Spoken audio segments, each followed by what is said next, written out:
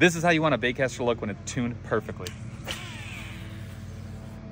This is your spool tension knob. This dictates how fast this uh, spool can spin. To the right means tighter, to the left is looser.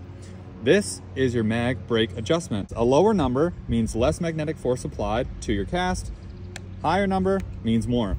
So how do you tune this right out of the box? First of all, go all the way to the right and then go the highest number possible on your mag brakes. And what you're gonna find is when you cast, you can't cast very far. Look, that went like 10 yards. So what you do is loosen this up a little bit and then loosen this up a little bit. So now I've gone to six or seven. Now when I cast, I go quite a bit further, right? But I'm not over spooling. And then you keep doing that until you feel comfortable. And now, get a perfect cast without over spooling.